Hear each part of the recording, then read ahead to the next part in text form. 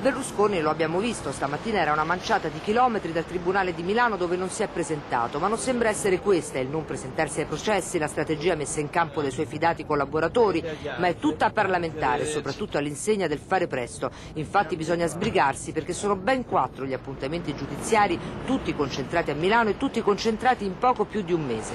Oltre al processo Mediaset cominciato oggi, il 5 marzo il Cavaliere è chiamato in udienza per media trade, frode fiscale, appropriazione indebita. Appena una settimana dopo, 12 marzo, processo Mills, corruzione di testimone e poi l'ormai famoso caso Rubi, 6 aprile, con la doppia accusa di concussione e favoreggiamento della prostituzione minorile. Ed ecco il piano d'attacco parlamentare. Intanto Paniz, l'uomo PDL della Giunta per le autorizzazioni, sta lavorando per riportare alla Camera il caso Rubi e far votare in Parlamento la richiesta che a giudicare Berlusconi sulla concussione sia il Tribunale dei Ministri.